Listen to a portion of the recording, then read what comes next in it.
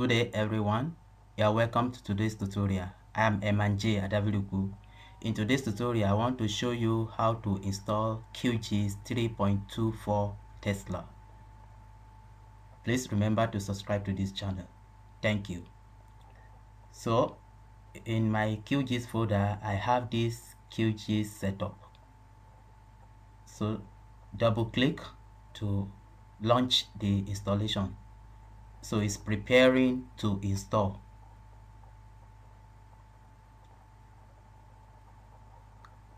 Is computing the space requirement for installation. Then click next.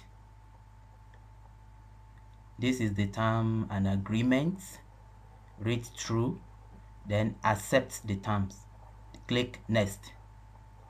This creates desktop shortcuts. If you want it you check it and click next. Then click install. So the installation has started. Actually the installation takes a whole lot of time. It can take about 30 to 45 minutes. So you have to wait for it. The installation is in progress.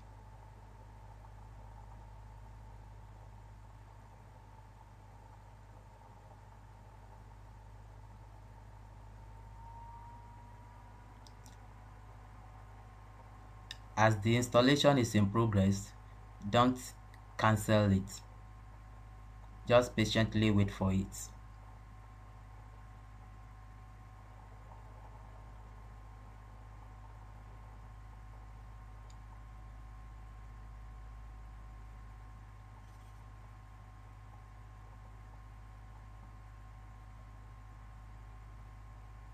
is updating component registration. It is a series of steps. The installation involves series of steps, so you have to follow it patiently.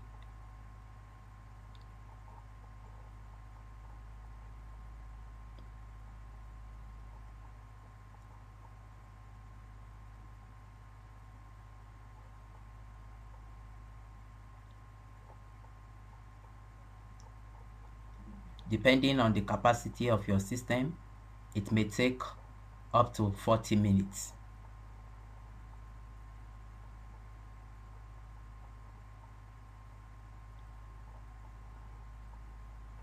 But it is a straightforward installation.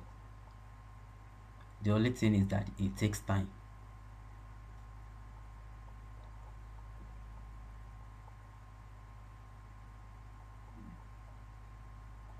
Okay the installation is done. Click finish. Then let's close this page. Uh, let's minimize this. So when you go to your desktop a shortcut has been created inside one folder. So let's open it.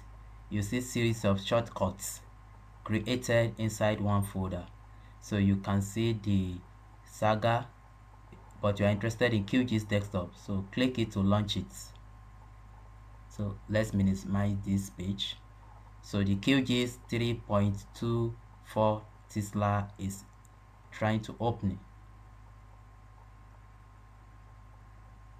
so that's open. Let's open the new empty project.